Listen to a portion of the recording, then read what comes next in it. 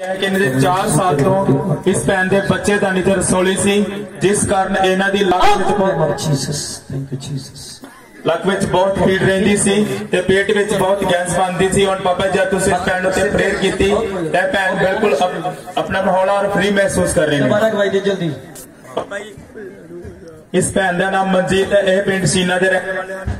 ਇਸ ਭੈਣ ਦੀ ਗਵਾਹੀ ਇਹ ਹੈ ਕਿ ਇਹਨੇ 4 ਸਾਲ ਤੋਂ ਇਸ ਭੈਣ ਦੇ ਬੱਚੇ ਦਾ ਨਿਤ ਰਸੋਲੀ ਸੀ ਜਿਸ ਕਾਰਨ ਇਹਨਾਂ ਦੀ ਲੱਕ ਵਿੱਚ ਬਹੁਤ ਪੀੜ ਰਹਿੰਦੀ ਸੀ।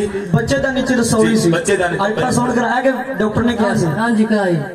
ਓਕੇ ਹੁਣ ਤੁਸੀਂ ਕੀ ਮਹਿਸੂਸ ਕਰ ਰਹੇ ਡਾਕਟਰ ਕਹਿੰਦਾ ਪ੍ਰਸ਼ਨ ਕਰਨਾ ਮੈਂ ਕਿਹਾ ਮੈਂ ਪ੍ਰਸ਼ਨ ਨਿਕਲਣਾ ਮੈਂ ਕਿਹਾ ਦਾ ਹੀ ਪ੍ਰਸ਼ਨ ਕਰ। ਹੋ ਓਕੇ ਤੇ ਹੁਣ ਤੁਸੀਂ ਕੀ ਮਹਿਸੂਸ ਕਰ ਰਹੇ ਹੋ? ਠੀਕ ਚੱਲ ਕੱਲ ਕਾਏਗਾ ਮਤਲਬ ਹੈ ਨਹੀਂ ਰਸੋਲੀ? ਮਹਿਸੂਸ ਪਤਾ ਲੱਗ ਜਾਂਦਾ ਹੈ। ਉਹ ਕਿੱਡੀ ਕਿ ਰਸੋਲੀ ਕੀ ਸਾਈਜ਼ ਦੱਸਦੇ ਸੀ ਦੋ ਪਾਣੀ ਵਾਲੀਆਂ ਇੱਕ ਮਾਸ ਵਾਲੀ। ਔਰ ਹੁਣ ਤੁਸੀਂ ਬਿਲਕੁਲ ਫ੍ਰੀ ਹੋ। ਕੋਈ ਰਸੋਲੀ ਨਹੀਂ। ਉਹ ਵੱਡੇ ਯਿਸੂ ਮੇਰਾ